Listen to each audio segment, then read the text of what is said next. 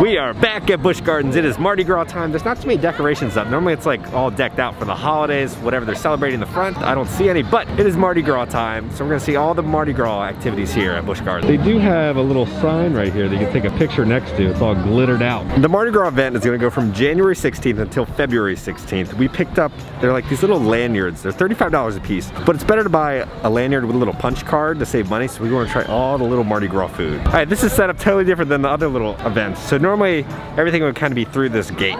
But Mardi Gras, the party is happening over here. Oh, I love their costumes.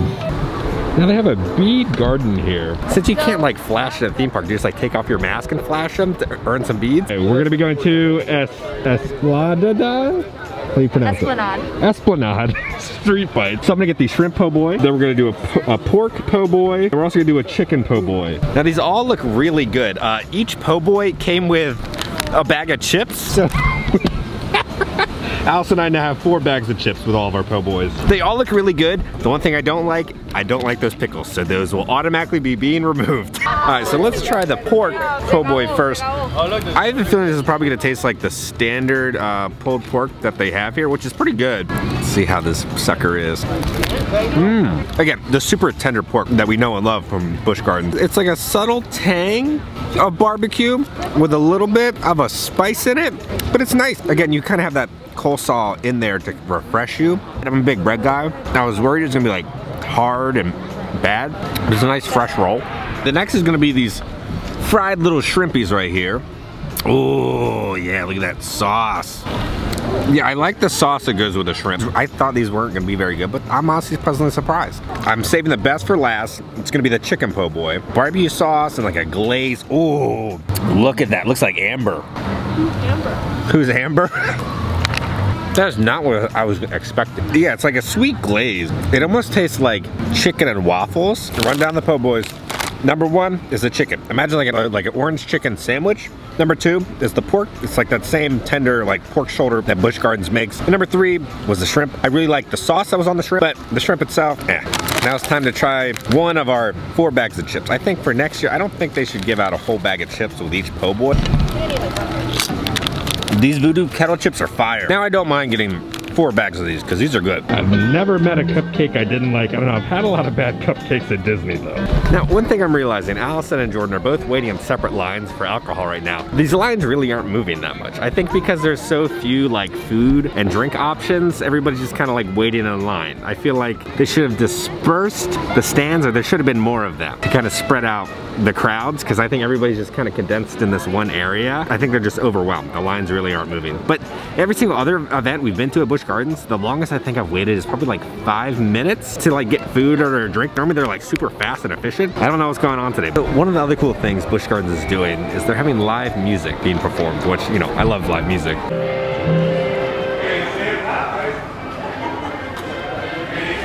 I'm sitting here lying,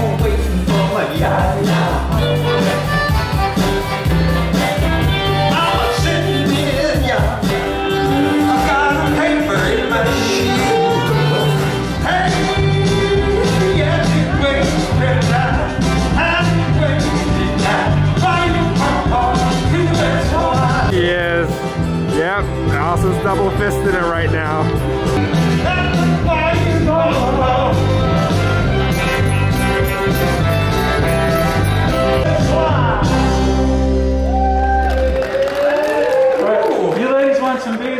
Were dancing, those, those lovely ladies were dancing. So we got beads over here. Come here. The old guys watched Allison and Jordan dancing and they gave them beads. Let's see this hurricane that Allison got. This is That's actually pretty good. I have no idea what that is. That's like jello or something in there. Jello shot. That's a jello shot? So we were timing Allison on how long that took for her to get a drink. It was over 30 minutes. Oh, I like this sign they have up for Mardi Gras. Now when it comes to those performers, um, interesting. I do want to say the lady on the washboard was definitely my favorite. Time for the Bayou Grub. I think I'm gonna get the uh, jambalaya. Alice was able to secure us a reservation out on the Blue Bayou. Kind of, but this is what we got. All right, so first off the drink, you know, we gotta have alcohol. It's the Green Fairy Margarita. I guess this is what happens when you blend up a fairy. You get this. It kind of looks like limeade or um, the avocado margarita from Mexico. It's green apple, lime, and tequila. It tastes like, remember in like elementary school, they would have those like frozen pops, like the lime flavor? Otter pop. Like the otter pop. The otter pops, yeah. It tastes like a like a lime otter pop. This thing's good. For the entree, I got the jambalaya. So it's gonna have chicken and and andouille sausage. There's a good amount of spice. Normally these like theme park dishes are really like bland and boring. There's a good flavor profile to that. And the sausage is pretty good. I would give that, I think I like the standard like seven out of 10. But the drink, I think I would give nine out of 10. I really enjoyed that blend up fairy, as sick as that is. Getting down to the wire, this sucker is sour, and I love sour stuff, but like,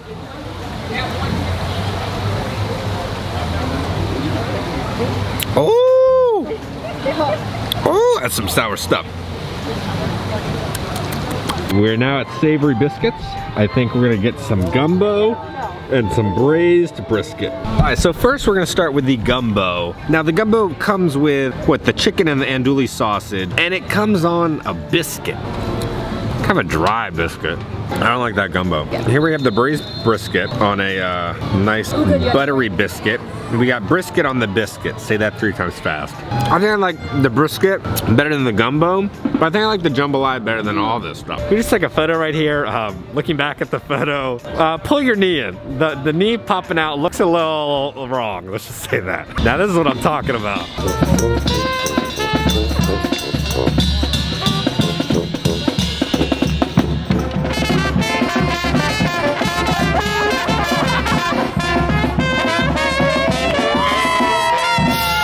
I just noticed that on the instruments, the instruments are like wearing masks because the performers can't wear masks. So that like when where the air comes out of the instrument, they have a mask on it. Now the one thing I truly love about Busch Gardens is all the animals everywhere. It's just like an animal kingdom. Some parrots just chilling up there. You could be eating, snacking on some cupcakes next to some parrots. And the little baby orangutan was not here last time. Oh my god, he's so cute. Look at that. Oh,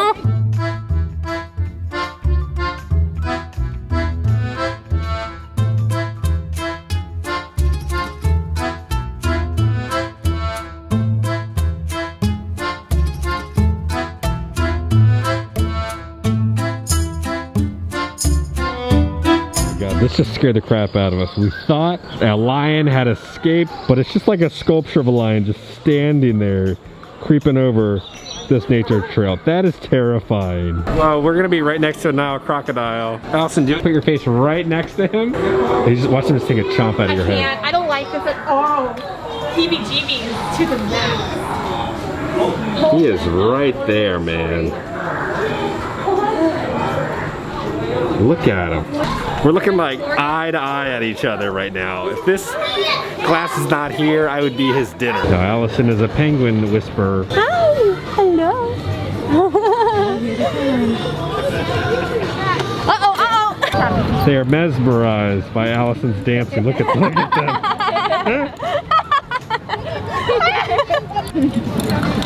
Uh-oh, uh-oh. She's lost it now. She's lost it now.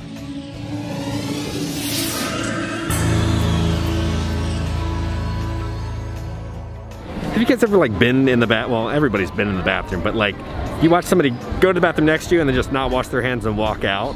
And then for the rest of the day, you just kind of see this person throughout the park. And you just look at him and you go, oh, you're one of those. You didn't wash your hands. Am I the only one who does that? Please wash your hands if you go to the bathroom. And what's the deal with people talking on the phone while using the urinal? Ugh. Okay, there's that. There's my TED talk. Okay, this is absolutely disturbing. It looks like they have hung Luigi. What? Does it look like they just hung Luigi? Ah, yeah. Yeah. I don't, like, that. Silent night. Now, last time we were here, kind of the mass situation was horrendous. Just- I called it like a lawless, maskless land. It's a lot better this time. A lot more people are wearing masks. Um, I don't see that that many ambassadors out enforcing it though, like they were last time. But I think everybody's doing a pretty good job for being Busch Gardens. Oh, this is sad. For Christmas, this is where they had the tunnel of lights and music, and it's just metal bars now. And Iron Gwazi should be literally opening up probably within the next couple months. I'm so excited to come back and ride it. Now, I'm pretty sure last time we were here, this was all like boarded up. So the only wall that they have right now is the wall to enter in. So it looks like everything is just done and ready to rock and roll. Now, every time I see these topiaries, I can't tell if they're cute or just straight up terrifying. Because Elmo looks like he's got the chicken pox. Big Bird looks like he's about to lay an egg. And Oscar looks like he's wide open, ready for some trash, if you know what I mean. No offense, his, his eyebrows kind of look a little turdy. Now you're probably thinking, Kevin, it's January. The lines should be like empty, like Universal or, well, kind of like Disney. But uh, the lines here are insane. The, uh, the wait times, Cobra's Curse is a two hour wait. Every single ride is like an hour plus. Oh my God, these little babies. They're little like Teletubby neon babies. I love that they say plastic figures not edible. Okay, here's a shot at our little babies. Now, all I'm thinking about, if you've seen Borat 2, you understand. Here's the king's cake.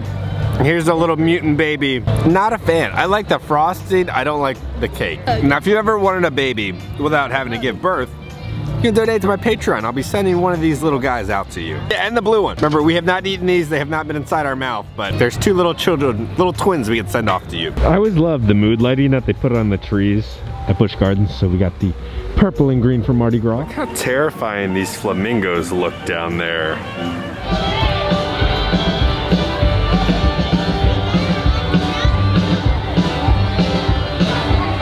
And my friends, that is a wrap on Mardi Gras at Busch Gardens, Tampa.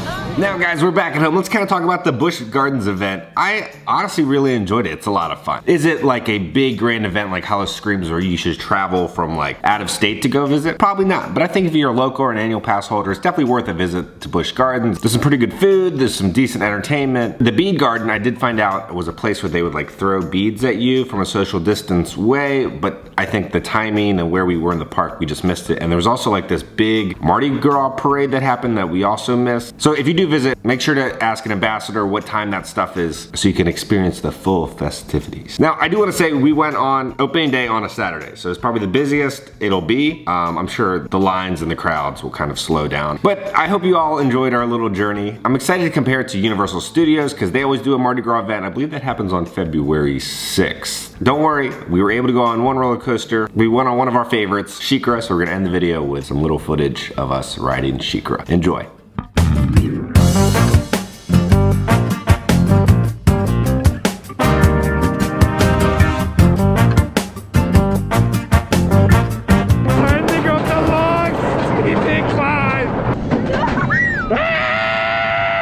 Oh my god, oh my god, oh my god!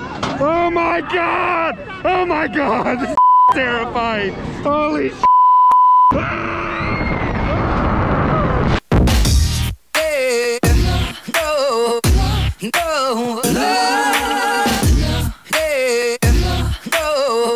Oh my god. Her face goes right there. That's amazing. I love that.